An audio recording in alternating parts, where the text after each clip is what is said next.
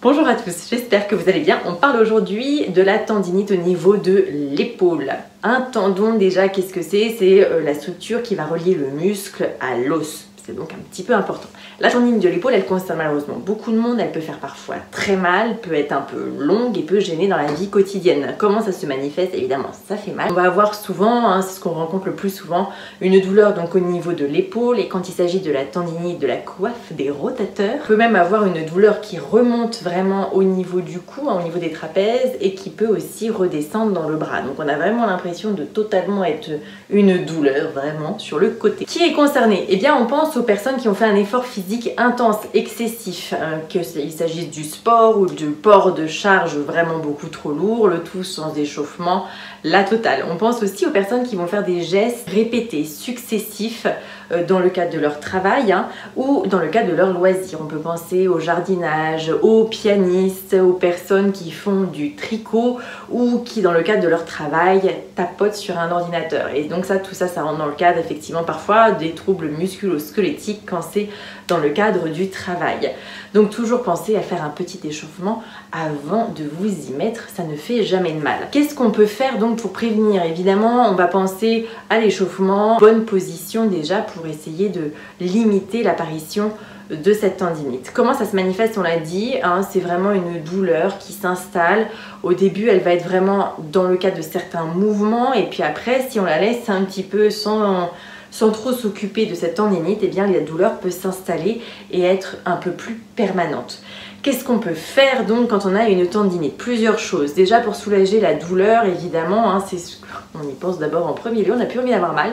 On peut appliquer du froid, c'est vraiment une méthode complètement naturelle et qui n'engage pas à grand chose. On met du froid, alors jamais en contact direct. On embobine la compresse ou le pack de froid dans un linge mouillé qu'on applique directement sur la douleur. Ça va un peu l'anesthésier, ça fait du bien.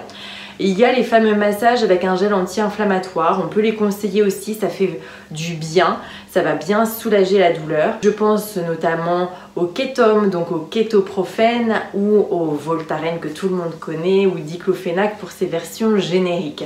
Attention au kétoprophène, je le redis et je le répète, le kétoprophène en application locale ne supporte pas le soleil, il est extrêmement photosensibilisant, pas de soleil jamais avec du kétoprophène en pommade. On met un habit, on se couvre, on se met à l'ombre et jusqu'à 15 jours après l'arrêt du traitement, je tenais à faire cette parenthèse extrêmement importante. Donc le gel, on fait un massage, on applique du froid, on peut prendre également du paracétamol en comprimé. Les anti-inflammatoires par voie orale ne démontrent pas une efficacité notable, mais de toute façon, dans ces cas-là, je vous conseille vivement, si vous en êtes là, d'aller consulter votre médecin. On pense également à mettre forcément l'épaule au repos, mais pas totalement au repos. Il ne convient pas de l'immobiliser complètement, cette épaule. Il va falloir continuer de faire des mouvements mais pas des mouvements qui font mal.